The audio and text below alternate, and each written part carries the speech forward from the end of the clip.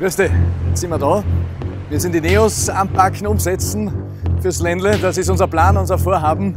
Wir wollen der pinke Stachelsee im Sitzfleisch. Dieser Herren und Damen, die da nicht wieder tun und die brauchen Impulse. Frischer Wind fürs Ländle. Das ist unsere Ansage.